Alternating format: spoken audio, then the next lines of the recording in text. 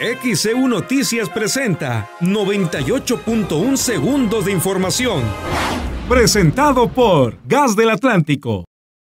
Planea energía verde. Cuida el medio ambiente y ahorra en tu recibo de luz con paneles solares. Este viernes en Veracruz, Boca del Río, se espera una temperatura máxima de 35 a 37 grados Celsius.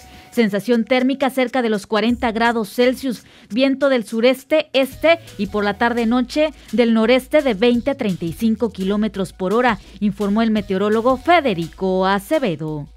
En México se registró el primer cuadro grave de trombosis provocado por la aplicación de la vacuna contra COVID-19 de AstraZeneca. Así lo informó el médico Roberto Ovilla Martínez, jefe de hematología y trasplantes de médula ósea del Hospital Ángeles.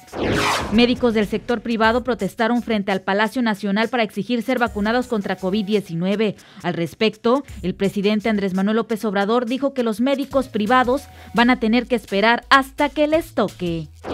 El ex senador panista Jorge Luis N. fue detenido e ingresado al reclusorio norte donde permanecerá por lo menos hasta el lunes, fecha en la que continuará la audiencia y se definirá su situación jurídica. La detención es parte de la investigación por los supuestos sobornos que Emilio N., exdirector de Pemex, dijo repartir para aprobar la reforma energética, dinero que procedía de Odebrecht.